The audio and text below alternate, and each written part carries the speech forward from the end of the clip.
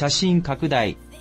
野球評論家の張本勲氏が27日、TBS 系サンデーモーニングの人気コーナー、週刊御意見番に出演し、プロ野球選手の海外自主トレをチクリと批判した。番組でヤンキースの田中将大投手、巨人の坂本勇人内野手、オリックスの吉田正直外野手らの国内自主トレを紹介すると、この選手たちは国内でやっているからいいけどね。海外でやっている人は遊びに行ってるんだから。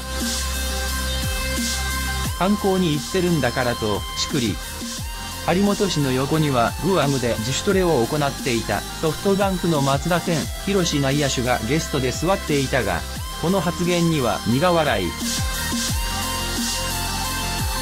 海外自主トレについて、いや、しっかり1日練習しています。